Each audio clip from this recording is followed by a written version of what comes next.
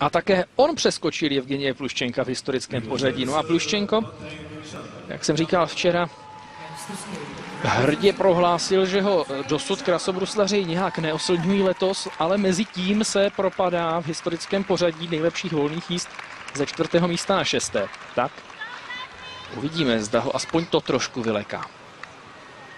Petrik Čen, jeho letošní maximum je 160, 176,9, ale jinak je držitelem světového rekordu přes 180 bodů.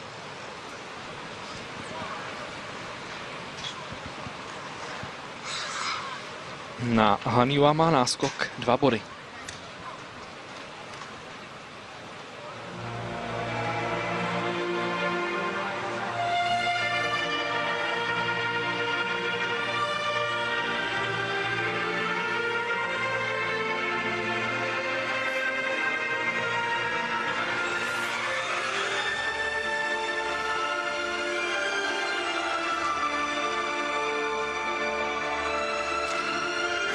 A pád po čtverném tulupu.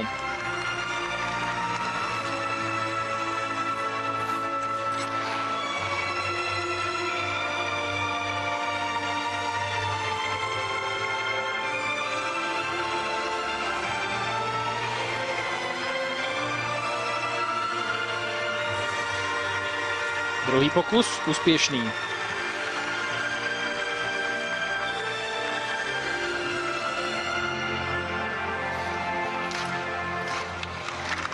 Trojitý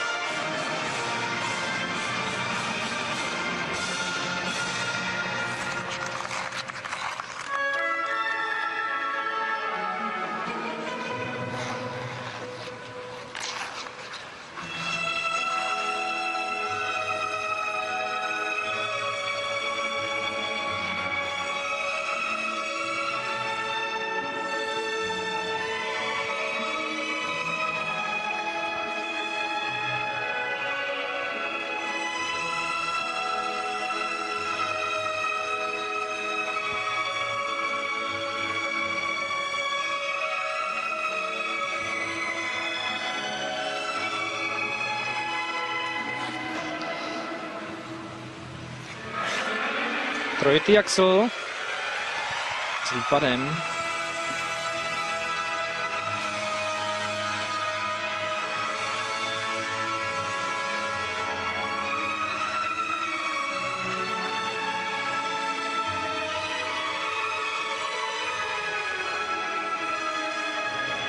Trojitý Rydberger také mírně nejistý.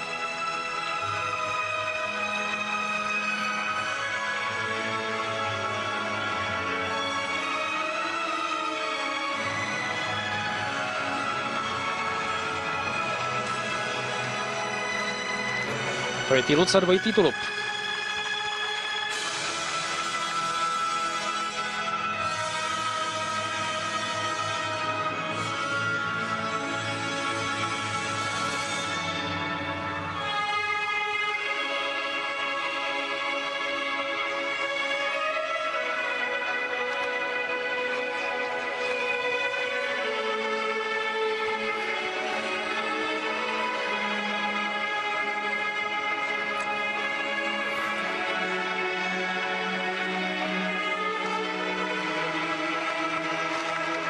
Trojitý Flip a trojitý Salchov.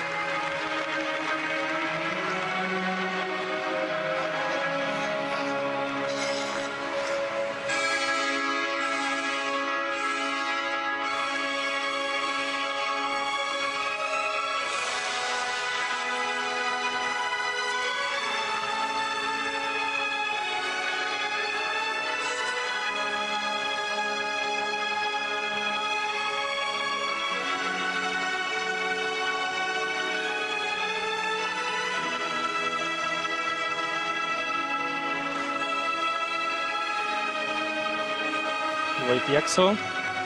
A dvojitý tulup, ale pozor, to je třetí kombinace. To je čtvrtá vlastně už.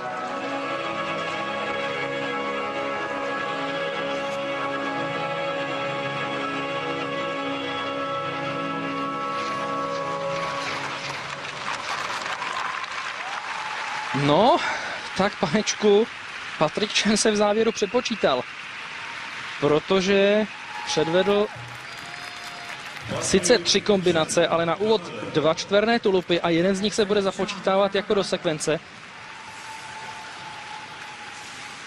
No. I takový mistr jako Patrik Chen se ještě má co učit. A teď je z toho sám nějaký takový vyvalený.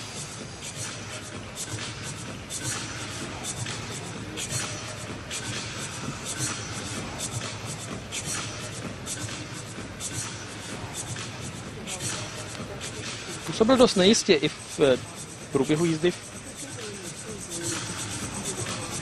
těch eh, skocích uprostřed jízdy.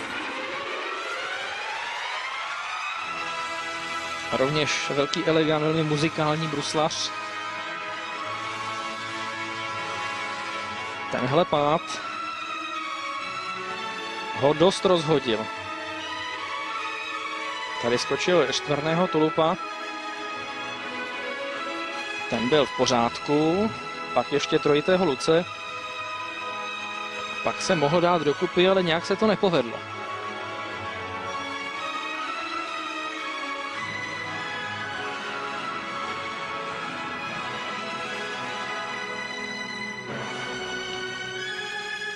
Letos dostával za trojité axely velmi vysoké známky, až jedny z nejlepších na celém světě.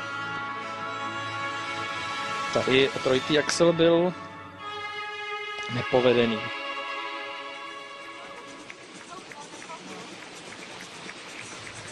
Je ale také pravda, že někdy trojitého axla dokázal pokazit. Vlastně ve volné jízdě ho skočil až tady. Ten povedený trojitý axel, o kterém jsem mluvil, ten byl v krátkém programu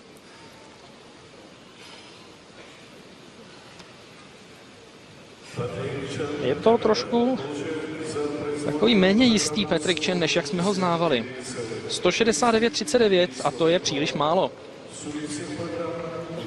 To je příliš málo a to bude někde až kolem Fernandéze, před ním nebo až za ním? Před ním o 6 setin bodu. No, to tedy je veliké štěstí pro Kanaděna a veliká smůla pro Španěla.